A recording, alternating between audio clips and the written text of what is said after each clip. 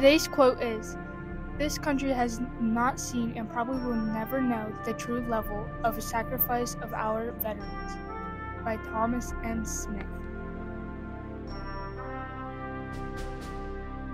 The CMS Showcase is happening December 7th from 6 to 8 p.m. We're going to have food available to purchase like Domino's Pizza, cookies, chips, and bottled water. Raffle tickets will be for sale for the baskets that are going to be put together by our teachers in the P-TAG.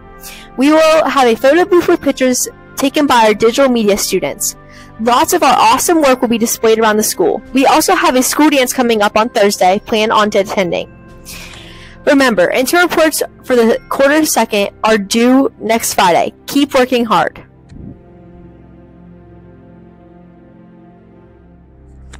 Veterans Day in the U.S. holiday dedicated to American veterans of all wars.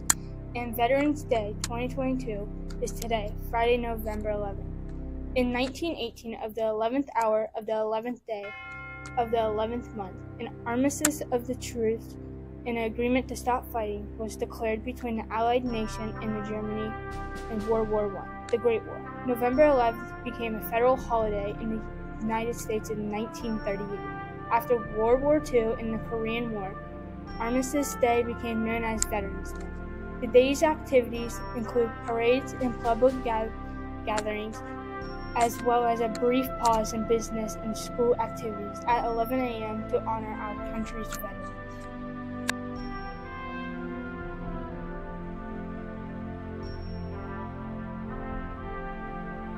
Gilbert Seltzer was drafted to the Army when World War II broke out.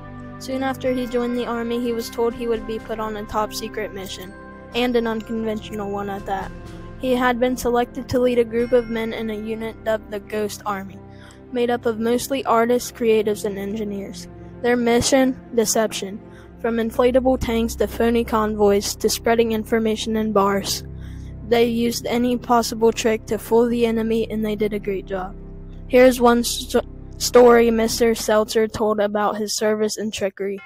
We would move into the woods in the middle of the night, going through villages in France, Belgium, and Germany. We would turn the sound on so that it sounded like tanks moving on the roads. The natives would say to each other, Did you see the tanks moving through town last night? And they were not lying. They thought they were seeing them. Imagination is unbelievable. Thank you, Gilbert Seltzer, for your service to our country.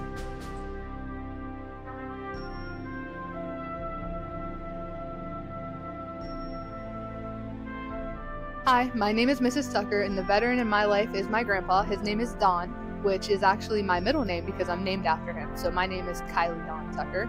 Um, he was a Marine in the Vietnam War, and just something a little funny about him his nickname is Dozer, so he has a tattoo of a bulldozer to represent that.